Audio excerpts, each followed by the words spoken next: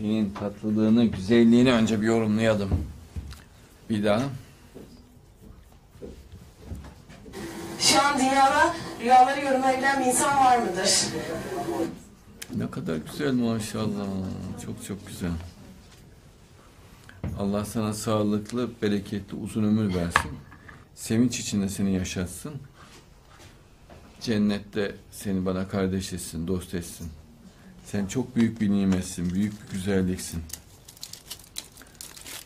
Ee, rüyayı yorumlayan İsa Mesih iyi yorumlar.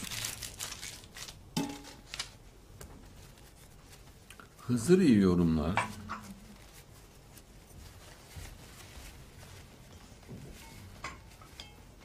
Ama nasıl bulacağız diyorsun. Doğru söylüyorsun. Bulamazsın. Evet dinliyorum.